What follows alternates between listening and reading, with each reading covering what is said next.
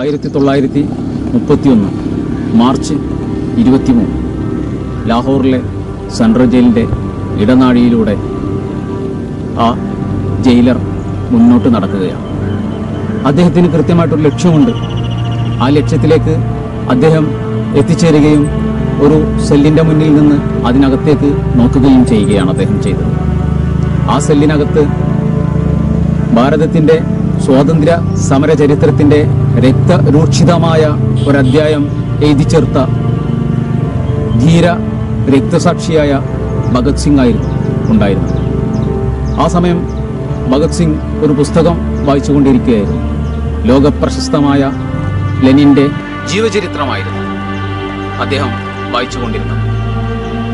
അതിൽ നിന്ന് തലയുയർത്തി ആ ഓഫീസറെ നോക്കുന്ന സമയത്ത് ഓഫീസർ കൂടെ ചെല്ലാൻ വിളിക്കുകയാണ്. ആ ഓഫീസറുടെ അതുവരെയുള്ള ഭാവങ്ങളോ ചലനങ്ങളോ ആയിരുന്നില്ല. അദ്ദേഹത്തിന്റെ മുഖം വിഷാദ പൂർണമായിരുന്നു അങ്ങനെ ഭഗത് സിംഗ് ചെറുചിരിയോടുകൂടി ഓഫീസറെ നോക്കിക്കൊണ്ട് പറയുന്ന ഒരു വാക്കുണ്ട്. ഒരു രണ്ട് മിനിറ്റ് കൂടെ തരണം. എനിക്ക് രണ്ട് പേജ് കൂടെ വായിച്ചു തീർക്കാനുണ്ട്. ആ ഒരു സമയം ആ ഓഫീസർ അനുവദിച്ചു കൊടുക്കുകയും ഭഗത് സിംഗ് അത് വായിച്ചു തീർക്കുകയും ആ പുസ്തകം വായിച്ചു തീർത്ത് മടക്കി വെച്ച് അദ്ദേഹം ഉജ്ജ്വലമായ കാൽവെപ്പുകളോടെ ആ ഓഫീസർക്ക് പുറകെ മുന്നോട്ട് നടക്കുകയും ചെയ്തു. അങ്ങനെ നടക്കുമ്പോൾ ഭഗത് സിംഗിന് അറിയാമായിരുന്നു തന്നെ കൊണ്ടുപോകുന്നത് ഒരു തൂക്കുകയറിനടിയിലേക്കാണ്. ഇനി ഏതാനും മിനിറ്റുകൾ മാത്രമേ താൻ ജീവിച്ചിരിക്കൂ എന്നും ഭഗത് സിംഗിന് അറിയാമായിരുന്നു. ലോകം കണ്ട ധീര രക്തസാക്ഷികളിൽ ഉജ്ജ്വലനായ ചരിത്രം രേഖപ്പെടുത്തിയ ഭാരതത്തിന്റെ സ്വാതന്ത്ര്യ സമര കാലഘട്ടത്തിലെ ഒരു ദീപന്തമായി ജ്വലിച്ച മഹാ വ്യക്തിത്വം. അതായിരുന്നു ഭഗത് സിംഗ്. അങ്ങനെ അദ്ദേഹം ഇടനാഴിയിലൂടെ നടക്കുകയും ആ തൂക്കുമരത്തിന് താഴെ മൂന്ന് പ്രമുഖ വ്യക്തിത്വങ്ങൾ എത്തിച്ചേരുന്നു. ഭഗത് സിംഗ് സുഖ്ദേവ് രാജുവിന്. തൂക്കുമരത്തിന് താഴെ എത്തിച്ചേരുന്ന സമയത്ത് ആരാച്ചാർ മറ്റ് എല്ലാ കാര്യങ്ങളും നിർവഹിച്ചു കഴിഞ്ഞതിന് ശേഷം റെഡിയാണെന്നുള്ള അറിയിപ്പ് കൊടുക്കുമ്പോൾ ഈ തൂക്കുമരത്തിന് കീഴെ ഈ മൂന്ന് പേരെയും നിർത്തുകയാണ് ചെയ്യുന്നത്. അങ്ങനെ ഈ തൂക്കുമരത്തിന് താഴെ അവരെ നിർത്തിയതിന് ശേഷം അവരെ തൂക്കുകയറണിയിക്കാൻ പോകുന്നതിന് തൊട്ടു മുൻപായി അവസാനമായി എന്തെങ്കിലും ആഗ്രഹമുണ്ടോ എന്ന് ചോദിക്കുന്ന സമയത്ത് നിശ്ചയദാർഢ്യത്തോടുകൂടി ഒരു ഇഞ്ചു പോലും പതറാതെ അടുത്ത സെക്കൻഡിൽ അസ്തമിച്ചു പോകുന്ന ജീവന് നേരെ നിശ്ചയദാർഢ്യത്തോടുകൂടി നോക്കിക്കൊണ്ട് ഭഗത് സിംഗ് പറഞ്ഞു ഞങ്ങൾക്കൊന്ന് മുദ്രാവാക്യം വിളിക്കണം. അങ്ങനെ അതിനുള്ള അനുമതിയോടുകൂടി ആകാശത്തിലേക്ക് കൈകൾ ഉയർത്തിപ്പിടിച്ചുകൊണ്ട് ഈ മൂന്ന് രക്തസാക്ഷികളും ഉറക്കെ വിളിച്ചു ഇൻകുലാബ് സിന്ദാബ. ലോകത്തിന്റെ നെറുകയിൽ മുഴങ്ങിക്കേട്ട ഒരു വലിയ ഒരു മുദ്രാവാക്യം.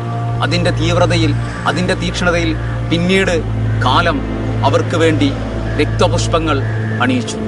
അത്ര ഉജ്ജ്വലവും തീവ്രവുമായിരുന്നു ഇവരുടെ ജീവിതങ്ങൾ. അവനവന് വേണ്ടിയല്ലാതെ ജീവിതത്തിന്റെ മുഴുവൻ മേഖലകളെയും സമർപ്പിച്ചുകൊണ്ട് സമസ്ത ജീവിതത്തിന്റെ സ്വത്വങ്ങളും സമർപ്പിച്ചുകൊണ്ട് അവർ ഭാരതത്തിന്റെ സ്വാതന്ത്ര്യ സമര ചരിത്രത്തിലെ വെള്ളി നക്ഷത്രമായി ഉദിച്ചുയരുകയും ചെയ്തു. അദ്ദേഹത്തിന്റെ ജീവചരിത്രമാണ് ഭഗത് സിംഗ് എന്ന പേരോടുകൂടി കെ എം ചന്ദ്രശർമ്മ എഴുതിയ ഈ ജീവചരിത്ര പുസ്തകം. ഓരോ ഭാരതീയനും ചരിത്രത്തിന്റെ കൂടെ സഞ്ചരിക്കാൻ ആഗ്രഹിക്കുന്ന ലോകത്തിലെ ഏതൊരു മനുഷ്യനും വായിച്ചിരിക്കേണ്ട ഒരു ഉജ്ജ്വലമായ കൃതിയാണ് ഭഗത് സിംഗ് എന്ന ഈ ജീവചരിത്ര ഗ്രന്ഥം. ഇന്ത്യയുടെ സ്വാതന്ത്ര്യ സമരപഥത്തിൽ അഗ്നിമുഹൂർത്തങ്ങൾ സൃഷ്ടിച്ച വിപ്ലവകാരിയായിരുന്നു ഭഗത് സിംഗ്. അദ്ദേഹത്തിന്റെ ജീവിതം വ്യക്തിത്വം ആശയങ്ങൾ രചനകൾ പോരാട്ടങ്ങൾ കേസ് വിചാരങ്ങൾ രക്തസാക്ഷിത്വം തുടങ്ങിയവയെപ്പറ്റിയുള്ള നേർ വെളിച്ചം നൽകുന്ന ഗ്രന്ഥമാണിത്. ഇരുപതാം നൂറ്റാണ്ടിന്റെ ആദ്യ ദശകങ്ങളിലെ ഇന്ത്യയുടെ രാഷ്ട്രീയ സ്ഥിതി ഇവിടെ ചർച്ച ചെയ്യുന്നു. ഭഗത് സിംഗിനെ പറ്റി ഇത്തരമൊരു സമഗ്ര രചന ഒരുപക്ഷെ മലയാളത്തിൽ മറ്റൊന്ന് കാണില്ല. ജാലിയൻ ബാലാബാഗ് എന്ന് പറയുന്ന ഒരു കൂട്ടക്കുരുതിയുടെ രക്തരൂഷിതമായ അവസ്ഥയിൽ നിന്നും ഉദിച്ചു പൊങ്ങുന്ന ഒരു നക്ഷത്രമായി ഭഗത് സിംഗ് വരുന്നു. ഒരുപക്ഷെ ഗാന്ധിജിയുടെ ഒരു ചിന്താഗതിക്കും അപ്പുറത്തേക്ക് അല്ലെങ്കിൽ മറ്റ് പല സ്വാതന്ത്ര്യ സമര നേതാക്കളുടെ ചിന്താഗതിക്കും അപ്പുറത്തേക്ക് തിളക്കുന്ന രക്തവും ശോഭിക്കുന്ന യൗവനുമായി ഭാരതത്തിന്റെ മണ്ണിലേക്ക് ഇറങ്ങി വന്ന് ജനത്തിനു വേണ്ടി ഭാരതീയർക്ക് വേണ്ടി അനേകായിരങ്ങൾ മരിച്ചതിനൊപ്പം രക്തസാക്ഷ്യത്തിലേക്ക് നടന്നുപോയ ഒരു മഹത് വ്യക്തിത്വത്തെക്കുറിച്ചുള്ള സമ്പൂർണമായ ഒരു ഗ്രന്ഥം ജീവിതം എന്ന് വേണമെങ്കിൽ നമുക്കിതിനെ വിശേഷിപ്പിക്കും. ചരിത്രത്തിന്റെ കൂടെ സഞ്ചരിക്കാൻ ആഗ്രഹിക്കുന്ന ആർക്കും ഒരു മുതൽക്കൂട്ടാണ് ഈ ഗ്രന്ഥം.